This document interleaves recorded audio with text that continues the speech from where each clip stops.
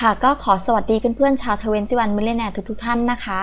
ก็ยินดีต้อนรับนะคะสำหรับคนที่มีความต้องการที่จะสมัคร GDI Premium นะคะ วันนี้แป้งก็ได้ทำวิดีโอตัวนี้มาสอนวิธีการสมัครแบบง่ายๆเลยค่ะนะคะ สมัคร GDI Premium เพียงไม่กี่ขั้นตอนเท่านั้นก็จะทำให้เพื่อนๆเนี่ยได้เป็นพรีเมียมกันทุกคนเลยนะคะ เพื่อนๆพร้อมกันหรือยังคะถ้าพร้อมแล้วไปกันเลยค่ะนะคะ ก่อนอื่นค่ะ เราก็จะต้องทำการ ล็อกอินเข้าสู่หน้า Member ของ GDI ก่อนนะคะ ให้เพื่อนๆกรอก Username Password ให้เรียบร้อยนะคะ อ่า แล้วก็กดปุ่ม Sign in ได้เลยค่ะ พอกดเข้าไปแล้วเนี่ยก็จะเข้าสู่หน้า Home นะคะ แต่ให้เพื่อนๆค่ะ คลิกตรงเมนูตรงนี้นะคะ GDI Premium ตรงนี้ค่ะ พอคลิกเข้ามาแล้วเนี่ย เพื่อนๆก็จะเจอหน้าตาแบบนี้เนาะ ที่บอกว่า GDI Premium แล้วก็รายละเอียดตรงนี้ ให้เพื่อนๆค่ะ คลิกที่ปุ่มสีเขียวตรงนี้ที่บอกว่า Add Premium Package ได้เลยค่ะ พอคลิกแล้วนะคะเขาก็จะให้เราเนี่ยทำการ confirm ค่ะ แต่ก่อนที่เราจะกด confirm นะคะ ให้เรา check box ตรงนี้ก่อนนะคะ โอเค พอเช็คแล้วเนี่ยเราก็กดปุ่ม confirm ได้เลยค่ะ อ่า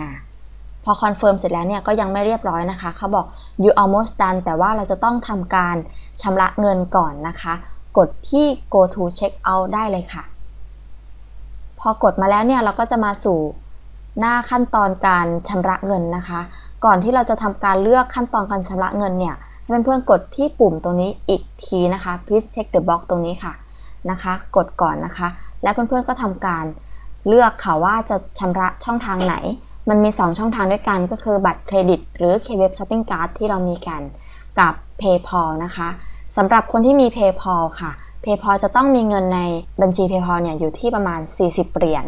นะคะ ขั้นต่ำเลย มีในนั้น 40 เหรียญถึงจะสามารถทำการชำระได้ทันที เพื่อนๆก็กดไปที่ PayPal ตรงนี้นะคะ พอกดเข้าไปแล้วเนี่ยสำหรับคนที่เคยตั้งค่าการชำระเงินด้วย PayPal อยู่แล้ว เขาก็จะทำการหักเงินไปทันทีเลยนะคะ แต่ถ้าเรายังไม่ทำการไม่เคยทำการตั้งค่าเลยเนี่ยเขาก็จะให้เรากรอกอีเมลของ PayPal นะคะ เพื่อทำการยืนยัน PayPal ของคุณ พอเรายืนยันเสร็จแล้วเนี่ยเขาก็จะทำการตัด PayPal ของเรานะคะ แต่สำหรับคนที่เลือกบัตรเครดิต หรือบัตรเคเว็บช้อปปิ้งการ์ดเพื่อนๆจะต้องมีเงินอยู่ 1,300 บาทนะคะ เป็นขั้นต่ำ1,300 บาทนะคะ เป็นขั้นต่ำแล้วก็เพื่อนๆจะต้องไปทำตรงนี้ก่อนค่ะ เปลี่ยนวงเงินซื้อสินค้านะคะ ต้องตั้งค่าวงเงินซื้อสินค้าขั้นต่ำเนี่ยอยู่ที่ 2,000 บาทนะคะ ถึงจะสามารถชำระ 1,300 ได้นะคะ ก็ให้เข้าไปที่ K Cyber นะคะ แล้วก็ไปตั้งค่าตรงเปลี่ยนวงเงินสินค้าของ K Web ชมพิการของเพื่อนนะคะ อยู่ที่ 2,000 บาทตรงนี้นะคะ พอตั้งค่าเสร็จแล้วก็เรียบร้อยนะคะ มีเงิน 1,300 บาท ตั้งค่าวงเงิน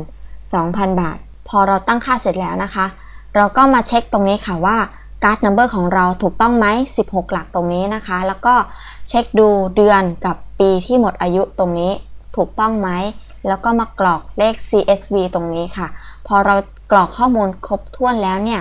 เราก็มากดตรงที่ Pay with Credit Debit Card ตรงนี้ได้เลยค่ะอ่าพอชำระเรียบร้อยนะคะ เขาทำการตัดเรียบร้อยไปแล้วเนี่ยเขาก็จะบอกว่า congratulation ตรงนี้นะคะ เข้ามาสู่หน้าตรงนี้ ก็แสดงว่าเราได้เป็น GDI Premium เรียบร้อยแล้วนะคะ